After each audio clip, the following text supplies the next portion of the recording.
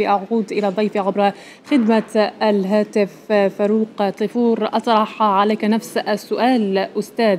ممكن تغير المواقف داخل إكواس من الحل العسكري ثم الحل السياسي ثم العودة اليوم من خلال هذا الاجتماع إلى طرح الخيار العسكري.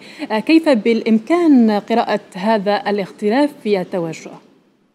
أنا أعتقد أن مجموعة الإكواس آه، يعني كانت برمجت هذا اللقاء آه، منذ يعني آه، يعني أسبوع باعتبار أن مواقفها آنذاك كانت يعني تستهدف الضغط على المجلس العسكري ويعني التلويح بالتدخل العسكري في سياق مواقف آه، لفواعل يعني دبلوماسية ودولية يعني كبيرة كالولايات المتحدة الأمريكية وأيضا يعني الموقف الجزائري وموقف الاتحاد الأفريقي. ولما يعني تدخلت هذه الفواعل وحدث تغير في في مواقفها يعني آه، وخرجت من منطقة التدخل العسكري إلى منطقة التسويه السياسية والدبلوماسية أعتقد أنها يعني أصبحت في في في في مأزق هذا اللقاء. فجدول أعمال هذا اللقاء يعني كان ربما هو التحضير ليعني هذه الجيوش وفي نهاية المطاف التحضير أيضا لما نسميه بشرعية دولية للتدخل لأنها تحتاج إلى شرعية دولية للتدخل يعني موقفا لمجلس الامن الدولي في هذه المسألة ولكن أعتقد أن التغيرات والتطورات السريعة والمتسارعة سواء على مستوى النيجر في حد ذاتها من خلال يعني العمل الذكي الذي كان يقوم به يعني المجلس العسكري من خلال يعني آه، تغيير يعني في تعيين حكومة ورئيس حكومة وأيضا يعني غلق وفتح الأجواء وتغيير مواقف دول أساسية نعم. في الموضوع يعني أحال هذه المجموعة على ما أسميه بمازق سجين عندنا نحن في نظرية الألعاب الذي يعني في نهاية المطاف اعتقد أنه سيبقي على خطابه ولكن أعتقد أنه سيفضل يعني سيتعاطى مع هذا التطور الهام والهام جدا. على اعتبار أن الدول 15 ليست كلها يعني متحمسة جدا للتدخل العسكري هذا اولا. وثانيا أيضا أن هذه الدول أيضا ليست يعني لا تملك سيادتها وقرارها في المسألة هذه لأن هناك ضغط فرنسي كبير جدا على عديد الدول هذه من أجل أنها تعبر عن هذا الموقف للضغط على يعني المجلس العسكري من أجل أن يعني آه، تصل في نهاية المطاف إلى مائدة مستديرة للنقاش والتفاوض حول المصالح الفرنسية في النيجر ولذلك فهي أعتقد انها في هذا في هذا المأزق وأن سيناريو التسوية الدبلوماسية والسياسية يعني بدأ يعني أكثر أكثر سيناريو للتحقيق في النيجر وبدأ التدخل العسكري بالرغم من حالة وجود حالة يعني تدخلات هنا وهناك خاصة على الحدود النيجيريه المالية ولكن أعتقد أن يعني التفاعلات الموجودة الآن للفاعل الفواعل الأساسية في المنطقة الجزائر الولايات المتحدة الأمريكية. يعني الدول اللي موجود عندها يعني قواعد عسكرية في النيجر يعني في يعني قاعدة تاع الناتو القاعده الفرنسية قاعدة تاع تركيا وأيضا العلاقات يعني المتجذرة بين يعني النيجر والجزائر. أعتقد انه هذه المواقف يعني ستكون ستؤدي في نهاية المطاف إلى يعني التسويه يعني السياسية في الآخر ومحاولة تجنب آه، السيناريو الاسوء في المنطقة اللي هو التدخل العسكري الذي س يعني يشعل المنطقة سواء كان في مسألة يعني دخول فواعل لا تماثلية. آه، آه، أقصد هنا يعني الجماعات المسلحة في المنطقة التي في نهاية المطاف. جزء منها يعني تحت رعاية يعني بعض الدول التي تريد أن تبقى بمبرر وتحت لفت مكافحة الارهاب في المنطقة. أعتقد أن التطورات هذه يعني سريعة ومتسارعة ويترتب في نهاية المطاف التسوية أو التطبيع مع المجلس العسكري في سياق انتخابات مبكرة محددة الأجندة والجدول أعتقد أن هذا ما ستؤول إليه الأمور. إذا لم يعني إن صح التعبير يحدث هناك استقطاب داخلي في النيجر. لماذا؟ لأنه لأنه المعطى الداخلي في النيجر مهم ومهم جدا إلى حد الآن آه الانقلاب أو المجلس العسكري آه حضر نفسه ويعني على مستوى الحكومة على مستوى أيضا الحاضنة الشعبية التي يعني في نهاية المطاف الآن هي تخرج بالشارع وتعبر عن يعني ضرورة يعني تخلص النيجر من من الاستعمار القديم وأيضا يعني الجانب الآخر المتعلق ب يعني المؤسسات التي يعني بدأت ان صح التعبير يعني تشتغل أعتقد أن كل هذه نعم. المتغيرات تدفع باتجاه يعني الموقف في التسوية في في في النيجر وتجنب المنطقة حربا أخرى. يمكن أن تتطور إلى حرب بين الشرق والغرب. على اعتبار أن أي ضغط على المجلس العسكري بالنسبة لبعض الفواعل وعلى راسها الولايات المتحدة الأمريكية معناه يعني دفع هؤلاء إلى الانخراط في المشروع الروسي وهنا يعني يصبح التحول ليس تحول على مستوى المنطقة وليس على مستوى النيجر فقط وإنما التحول يعني ينخرط في سياق التحولات الكبرى آه، في آه، في يعني الحرب الروسية الأوكرانية وأيضا يعني في بعض المناطق التوتر التي نسمع عنها هنا وهناك. دكتور ممكن مثل ما تكلمت منذ آه، لحظات أحداث متسارعه اليوم النيجر أو القادة العسكريون في النيجر يفتحون المجال نحو الحوار مع كل الأطراف مع الحفاظ على استقلال الدولة في اعتقادك هل ستكون في الأيام القادمة حقا ممكن مناقشات سياسية ودبلوماسية لإيجاد حلول للازمه؟ أنا أعتقد أن المجلس العسكري في النيجر يسير الازمه في النيجر يعني بذكاء آه لماذا؟ لأنه في نهاية المطاف يمتلك كل الأوراق على الأرض فهو الذي حدث الانقلاب هو الذي كان يتحكم في رئيس بازوم من خلال يعني تحضير أوراق المحاكمة الخيانه العظمى يملك الأوراق الحدود يملك أوراق العلقة الفتوى البرية وأعلان الحدود البرية والأجواء. وأيضا الآن يعني هو يتقدم من أجل الاعلان عن خارطه طريق جديدة سيعلن عنها ربما بعد يعني ضمان مواقف يعني عديد الفواعل الرئيسية المؤثرة في القرار. لذلك فأعتقد أن الاكواس يعني في المطاف يعني جزء من الأحداث تجاوزها لماذا؟ لانها في المطاف لا تملك سيادة في قرارها هي فقدت الموقف الأمريكي فقدت الموقف بين قوسين يعني الجزائري الذي هو ضد التدخل الأجنبي فقدت أيضا موقف يعني مجلس والأمن الاتحاد الأفريقي فقدت أيضا يعني آراء ويعني حتى في بعض الدول في برلماناتها يعني تدخلت ويعني آه، في النهايه يعني قررت يعني أو أرى يعني تدافعت مع انظمتها من أجل عدم التدخل العسكري لأنها تعرف في نهاية المطاف أن أي تدخل عسكري في المنطقة سيشعلها وتصبح كل كل دول المنطقة يعني في في أزمة بمعنى أن ذلك أن أزمة النيجر سيحدث لها ان صح التعبير تصدير يعني آه ولذلك فاعتقد أن كل هؤلاء كلهم يعني في نهاية المطاف أنا أقول دائما أنه كان هناك ثلاث سيناريوهات في الأزمة النيجيرية، كان السيناريو الأول هو سيناريو التسوية وعودة بازوم وأعتقد أن هذا السيناريو يعني قد يعني إن صح التعبير تدحرج بتغير في المواقف خاصة الموقف الأمريكي الذي كان يصر على هذا الشيء.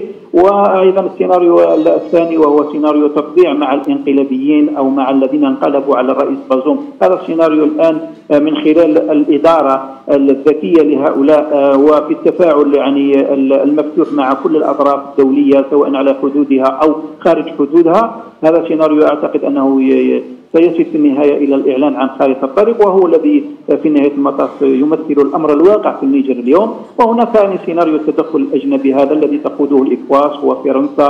وبعض يعني الدول الجارة للنيجر وبدأ يتراجع هذا هذا هذا السيناريو لصالح السيناريو الثاني اللي هو يعني حالة تطبيع وتسوية سياسية في المنطقة بإعلان خارطه طريق دستوريه يعني ربما قد تبدأ بانتخابات يعني آه، مبكرة للرئاسيات والبرلمان. ولذلك فأعتقد أنه من الناحية الجيوس سياسيه واستراتيجيه في المنطقة أنه على كل على الاقل على الأقل الدول الأفريقية لابد أن يعني تقتنع اليوم على أنها في نهاية المطاف لا تتحكم في أي معركة قد تعلن في المنطقة بل ستصبح وقود لها. ولذلك مجموعة الاخوات مطلوب منها أن تتعاطى مع هذا الواقع الجديد في النيجر ويعني تعطي الفرصة للنيجيريين من أجل أن يعني آه، آه، يختاروا حكامهم وأيضا يعني آه، آه، يستشرفون مستقبلهم بكل سيادة واستقلالية عن كل الفواعل التي للأسف الشديد تنزف خيرات النيجر آه، سواء كان المستعمر القديم أو الدول التي وضعت لها قدم من خلال القواعد العسكرية الموجودة في النيجر. نعم دكتور تكلمت ممكن حول حالة الاحتقان التي تعيشها المنطقة بفعل التدخل العسكري والتدخل الأجنبي في الشؤون الداخلية للبلدان على غرار ليبيا ومالي. اليوم المنطقة ما زالت تعيش ممكن على وقع الأمور السلبية التي أحدثها هذا الأمر بالأمس كان هناك هجوم إرهابي في بوركينا فاسو وحتى في النيجر. اليوم رويترز ونقلا عن مفوضة أو مفوضة السلام والأمن في إكواس تنقل قوله بأنه إذا فشلت جميع الحلول في النيجر فإن قوة إكواس جاهزة للرد. سيجرى استعادة النظام الدستوري في النيجر بكل الوسائل المتاحة هل رغم هذا التدخل العسكري الذي شهدناه من قبل ومآلات الأوضاع في المنطقة في اعتقادك التدخل أو الوسائل المتاحة الذي يتكلم عنها مفوض السلام والأمن في إكواس هو التدخل العسكري؟ أعتقد أن التدخل العسكري سواء لمجموعة الإكواس أو للفواعل الكبرى لم ينجح يوما لا في أوروبا ولا في آسيا ولا في صح. أفريقيا ولا في أي دولة أخرى هو التدخل العسكري كان دائما لصالح قوى يعني تقليدية من القوى الكبرى من أجل ضمان مصالحها بل هذه القوى ومنها يعني فرنسا كانت هي التي تقوم بالانقلابات في أفريقيا من أجل ضمان مصالحها وتوقيف ومنع النخب الأفريقية من أجل أن تحكم نفسها. فما تزال للأسف الشديد عديد الدول 14 دولة أفريقية ما تزال إلى اليوم في نهاية المطاف مستعمرة ماليا ومستعمرة في الخيرات. الساحه ولم تتحرر إلى اليوم من خلال يعني إعطاء فرصة لشعوبها من أجل اختيار حكومهم. وهنالك يعني نلاحظ هي حالة يقظة للنخب السياسية المدنية وال يعني المدنية والعسكرية في أفريقيا من أجل استقلال جديد لأفريقيا لهذه لهذه الدول. فالتدخلات العسكرية إذا كان قيمناها في أفريقيا كانت لم ترفع أفريقيا إلى إلى تنميه، لم ترفع أفريقيا إلى الخروج من الفقر،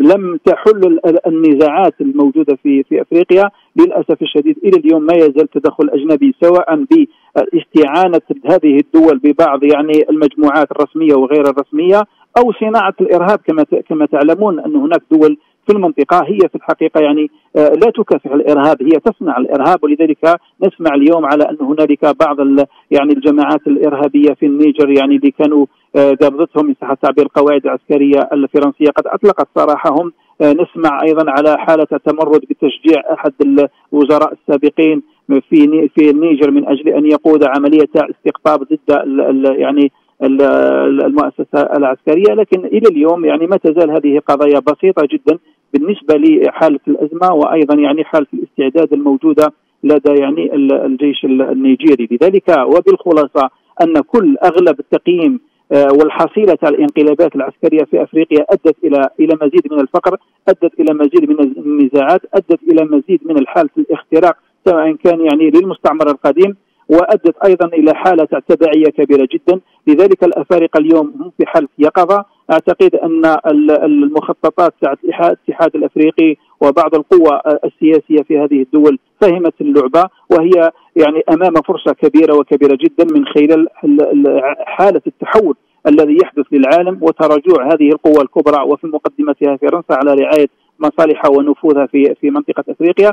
فافريقيا اليوم جميعا سواء في شمالها أو في وسطها أو في غربها أو في شمالها أو في شرق أو في جنوبها هي أمام فرصة تاريخية من أجل التحرر الكلي والاعتماد على النفس من واختيار يعني المقاربات التي تنفع يعني القارة المظلومة. هذه القارة التي هي ممنوعة أن يكون لها مقعد في مجلس الأمن الدولي، هي قارة في نهاية المطاف يعني مستباحة وتعاني التبعية والفقر وضعف التنمية وأصبحت في نهاية المطاف يعني آه، يعني تعيش على المساعدات وهي يعني زاخره بكنوز يعني اليورانيوم والنفط والغاز والمعادن الثمينة الموجودة في هذه القارة هي أمام فرصة كبيرة وكبيرة جدا. ولذلك فأعتقد أن هذه القوى الأساسية التي ما تزال إلى اليوم تريد الحفاظ على نفوذها في المنطقة. أعتقد أنه في نهاية تجاوزها الزمن يعني آه، وخرجت من عقول الأفارقة وأعتقد أنها ستخرج من حقولهم يعني في هذه المرحلة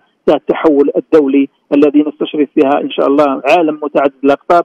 يمكن للدول أن تعيش السيادة والاستقلالية ويعني في نهاية المطاف تلبي حاجات يعني شعوبها ويعني تطلعات مواطنيها. دون ضغط من أحد دون هيمنة من أحد وفق النظرية التي كانت تطبق عليهم دائما نظرية التبعية. هذه فرصة كبيرة لإفريقيا. أستاذ العلوم السياسية والعلاقات الدولية شكرا لك على مشاركتنا نقاش هذا الموضوع. إذا مشاهدينا لا بأس أن نذكر بموضوع نقاشنا إلى حين ربط الاتصال بالدكتور عبد اللطيف بروبي. قادة جيوش دول إكواس يبدأون اجتماعا سيستمر يومين لبحث الاستخدام المحتمل للقوى الاحتياطية في النيجر. رويترز نقلت عن مفوض السلام والأمن في إكواس قوله بأن المجلس العسكري في النيجر يتظاهر بأنه مستعد للمحادثات ويسعى لأسباب لتبرير الانقلاب. أيضا ذات المتحدث يؤكد بأن إذا وإذا فشلت جميع الحلول في النيجر فإن قوة إكواس جاهزة للرد يشير إلي الزملاء بأن الاتصال جاهز. دكتور بروبي أهلا بك معنا من جديد. أهلا وسهلا بكم شكرا على الاستضافة. إذا دكتور مثل ما ذكرت منذ قليل مفوض السلام والأمن في إكواس يقول بأن المجلس العسكري في النيجر يتظاهر بأنه مستعد للمحادثات وهو ما أعلن عنه بالأمس رئيس الوزراء المدني المعين في الجيش النيجيري بقوله بأن بأنهم منفتحين للتحاور مع كل الأطراف. ممكن مفوض السلام والأمن يؤكد بأنه سيتم است استعمال كل الوسائل المتاحة آه، لإعادة النظام الدستوري في النيجر. ممكن هل سيتم آه، ممكن استعمال الخيار آه، العسكري كوسيلة للرد في ظل ممكن رفض عديد البلدان من بينها الجزائر الولايات المتحدة الأمريكية روسيا وحتى الاتحاد الإفريقي؟ طيب يجب ان نفهم على أن تواجد الميدانيين ليس من الأمر السهل قد نعلم تاريخ التدخل ولكن لا نعلم ما تاريخ متى ينتهي هذا التدخل. هذا هو المنطق. ولذلك قلت واعيد على الآن أن أي تدخل هو إعلان حرب. لا ولا يمكن وصفه حتى بالتدخل لأن ليس هناك تغطية قانونية لأن الاتحاد الإفريقي يرفض تدخل الدول الجوار ترفض التدخل. الدول الكبرى ترفض التدخل. والإكواس وبعض الدول الاكواس ال 15 أقول واعيد ال 15 وهي منقسمه على نفسها وهنالك دول من الإكواس معلقة معلقة العضويه ورفضت التدخل كذلك. كما هو حال مالي وبوركينا فاسو التي اعلنت بصراحه العبارة على أنها ستساهم في المجلس العسكري، إذا هنالك هذا المحور وهنالك محور آخر، محور يرفض التدخل ومحور يريد تثبيت التدخل لكن لا توجد هناك تغطية قانونية لهذا التدخل ولا توجد هناك شرعية لهذا التدخل أكثر من ذلك، إذا ما انتقلنا إلى فكرة التدخل الميداني نحتاج إلى باعداد واستعداد لوجستيكي ومنطقي نحتاج إلى ستة أشهر لتحديد هذه التحضيرات. أكثر من ذلك نحتاج إلى قيادة لوجستيكية لهذا التدخل في المنطقة. ولذلك قلت واعيد لأن التدخل قد نعلم تاريخه ولكن لا نعلم تاريخ نهايته وبالتالي عندما نفكر بطريقة عقلية التدخل منطقيا ولوجستيكيا وقانونيا مرفوض وغير ممكن لأنه حتى وإن فكرنا بنظريه الواقع يثبت على أنه سيفشل. لأننا نتكلم عن تواجد قواعد أمريكية وفرنسية في المنطقة. نتكلم عن قوات بارخان التي وجدت في مالي وأثبتت فشلها منذ 2013 لأن نحتاج إلى جيش ونحتاج إلى إعداد ونحتاج إلى إعداد لوجستيكي ونحتاج إلى ميدان ونحتاج إلى أطباء ونحتاج إلى معدات ونحتاج ونحتاج. فلا نفكر بطريقة انها انها انه تدخل للنزهة وما شابه ذلك. وقلت اعيد على أن الآن منطقيا وعقلانيا نعم. وكخيار استراتيجي لا يمكن وصفه تدخل لأنه إعلان حرب وحتى نعم. المجلس المجلس العسكري أعلن بصريح العبارة على أن هنالك مدى خطوط حمراء وضع مجموعة من الشروط فيما تكمل على أنه ليس لا رجوع لمحمد بازوم أكثر من ذلك. عين حكومة انتقاليه من خلال محمد آه، لمين زين أكثر من ذلك لمين زين انتقل إلى ماذا؟ إلى تشاد وفوضى محمد إدريس بيكي أكثر من ذلك نحن نتكلم عن ماذا؟ نعم. عن ماذا؟ آه، ضحايا ومن قوات النيجر في الشمال من خلال ماذا؟ مثلث الموت مع مالي وبوركينا فاسو. نتكلم عن حركات انفصاليه في جال وهكذا. اذا بالمحصله منطقيا ولوجستيكيا وقانونيا التدخل هو إعلان حرب ولم نتكلم التدخل ولذلك الكل يرفض هذا المنطق. نعم دكتور بوروبي إذا الحل العسكري غير مطروح حاليا ولا يمكن ممكن الذهاب إليها البعض يصف هذه الاجتماعات اجتماعات إكواس بأنها اجتماعات شكلية وبأن الأمور في النيجر محسومة في اعتقادك كيف ستكون مخرجات الاجتماع الذي سيدوم يومين؟ اجتماع قادة جيوش إكواس. طيب الاكواس كمنظمه اقتصادية. أقول واعيد من حيث الشكل هي منظمة اقتصادية ولكن أخذت بعد آخر مؤسساتي ببعد سياسي من خلال إنشاء محكمة وبنك والآن تريد أن توجد لنفسها موضع قدم من خلال أن تتواجد عسكريا في المناطق التي هي لأعضائها حتى لا ننسى على أن النيجر هو عضو في الاكواس في هذه المنظمة. ولكن يجب أن نفهم على أنه إذا ما أردت قيادة أركان الجيش الإكواس في ماذا؟ في حالة الأمور يجب أن نفعل كل الحلول الدبلوماسية لأنه من غير منطقي غياب قيادة عسكرية ولوجستيكية لقوات الإكواس وإلا سيصبح تدخل لبعض الدول للاكواس وليس كل الدول. وخاصة عندما نتكلم عن الكوت ديفوار والسنغال ونيجيريا وهذا طرح غير مقبول حتى من دول الاكواس في حد ذاتها. ولذلك اجتماع قيادة الأركان ومجلس قيادة الأركان في الاكواس الآن هو لحفظ الوجه خلال مدى أنه سيقوم بما لا حل بوضع السيناريوهات لاداره الأزمات الحدودية الآن. أقول اعيد إدارة الأزمات الحدودية. نحن نتكلم عن دولة ب 1.2 مليون كيلومتر مربع نحن نتكلم عن دولة ب 28 مليون نسمة. نحن نتكلم عن النيجر وتعيش 4 ملايين من النيجر يعيشون بالمساعدات. فكيف نريد إضعاف دولة هي هي هشة وهي مضعفة في الواقع؟ ولذلك يجب أن نفكر على أن سننتقل إلى محور آخر هي محور العقوبات. ولكن هذه العقوبات ستكون وتفرض على النيجيريين وتؤدي إلى مدى إلى غلاء الأسعار وتؤدي إلى الفوضى. داخل الفوضى وجربنا هذه الطريقة في مالي ولا تنجح. إذا بالمحصلة يجب أن نفهم أن قياس الأركان ستنطلق من عودة من عدة من حسب اعتقاد لا أكثر ولا أقل من عوض التدخل مباشرة داخل النيجر نقوم بماذا؟ بتصور آخر مرتبط بمقاربة مرتبطة بإدارة الأزمات الحدودية لأننا نتكلم عن النيجر نتكلم عن حدود سبع دول مع سبع دول وستكون هنالك إرهاصات من الحركة الانقلابية من خلال هجرة غير شرعية وتغيرات مناخية وتهديدات إرهابية لأن الآن نتكلم عن مثلث الموت الذي وقع فيه ضحايا 17 جندي من النيجر وقع في مثلث الموت مع بوركينا فاسو ومالي وفي شمال النيجر. اذا بالمحصلة قيادة الأركان حتى وإن فكرت تدخل عسكريا فهو تدخل في مجازفه في مجازفة أقول معين مجازفة في غياب قيادة للقوات في انقسام داخل اكواس أكثر من ذلك. في ظل أنه مهما كان العدد الذي نرسله من الجيوش حتى وإن كانت 10 أو 20 ألف من هو الاحتياطي؟ من هو الطبيب؟ نعم. من هو يقود نعم. يقود المدرعه من يقود الطائرة منطقيا حتى لوجستيكيا من غير معقول.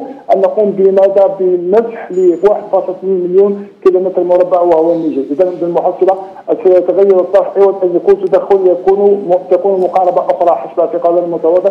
لا تخرج من إطار مقاربه إدارة الأزمات الحدودية التي تنتقل من النيجر لهذه الدول. نعم